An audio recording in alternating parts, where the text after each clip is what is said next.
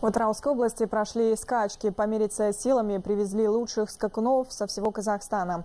Спортивный праздник посвятили юбилею независимости. Статью Аргамаков любовался и наш корреспондент. Бескрайняя степь, запах полыни, нетерпеливая поступь скакунов никого не оставит равнодушными, говорят участники Аламан-Байги. Сюда съехались конозаводчики со всего Казахстана.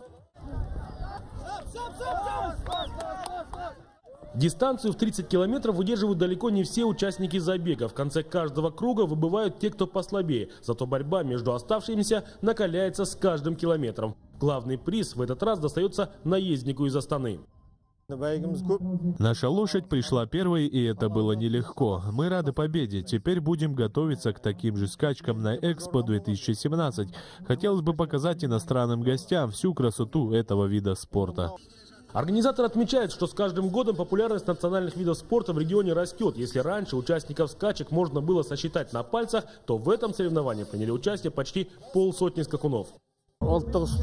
Этот национальный вид спорта сейчас буквально возрождается в новом облике. Растет количество коннозаводчиков, развивается жокейская школа. Это совсем другой уровень, нежели несколько лет назад.